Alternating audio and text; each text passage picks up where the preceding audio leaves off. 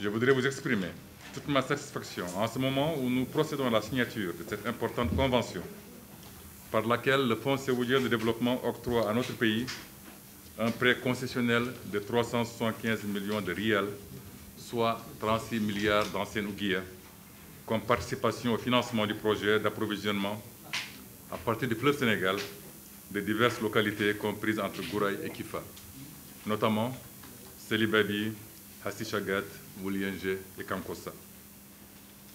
Le montant objet de cette convention est destiné à financer deux composantes importantes du projet, les lots 1 et 2, relatives à la station de prise et de traitement d'eau, le réseau de stockage d'eau, la première station de pompage, la conduite de transport d'eau entre le premier réservoir et la station de pompage de Célibabi, de même que la prise en charge des services du bureau de contrôle de l'ensemble des travaux du projet. C'est l'occasion pour moi de vous adresser personnellement et à travers vous au peuple et au gouvernement saoudien notre profonde gratitude pour l'appui constant que votre pays ne cesse de nous apporter à travers le Fonds saoudien, l'un de nos plus anciens partenaires au développement. Le fonds que vous dirigez, chers frères, est présent dans le développement de la plupart des secteurs économiques et sociaux du pays. Agriculture, eau et assainissement, éducation, santé, énergie, routes, etc.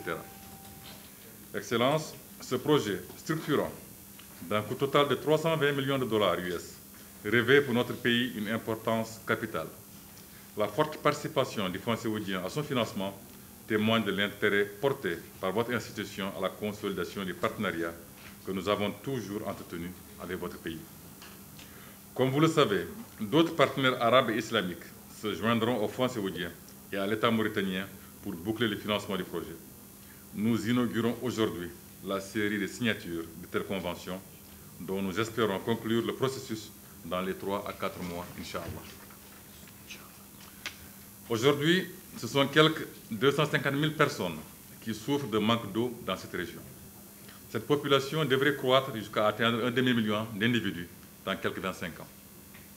Au-delà des grands centres urbains cités plus haut, le projet devrait garantir aussi la couverture des besoins en eau de 92 autres localités. Par ailleurs, la réalisation de ce projet devra créer un millier d'emplois permanents et 3 000 emplois occasionnels, sans oublier les horizons qu'il devrait ouvrir pour le développement de l'activité socio-économique dans les zones à grand potentiel agropastoral, au Guidimacha et à Nassaba. Ce projet s'inscrit dans une dynamique qui n'a cessé de s'affirmer ces trois dernières années et qui vise l'amélioration de l'accès des citoyens aux services sociaux de base et la mise en place d'infrastructures de soutien à la croissance, conformément au programme du président de la République, son Excellence M. Mohamed Cheikh Al-Ghazouani.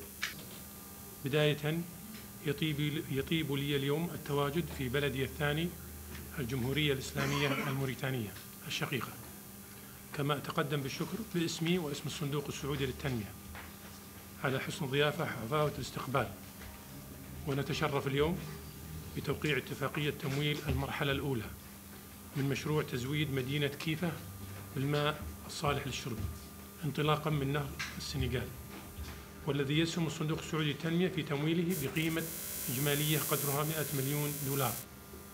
وتأتي هذه الاتفاقية بتوجيهات من مقام سيدي خادم الحرمين الشريفين الملك سلمان بن عبد العزيز وسمو ولي عهده الأمين الأمير محمد بن سلمان حفظهم الله.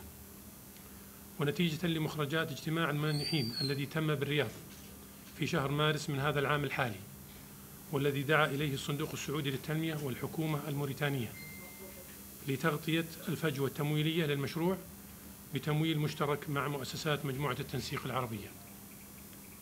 ويهدف المشروع إلى تغطية 90 قرية وتجمع بطول يصل إلى 250 كيلو متر إلى طريق مدينة كيفة كما لا يس... كما كما لا كما أنه يسهم في تلبية احتياجات السكان والحد من المشقة في جلب المياه الصالحة للشرب. وضمان استدامة الموارد المائية في تحقيق الأمن المائي والغذائي. وكذلك خفض معدلات انتشار الأمراض والأوبئة الناتجة عن شرب المياه الملوثة.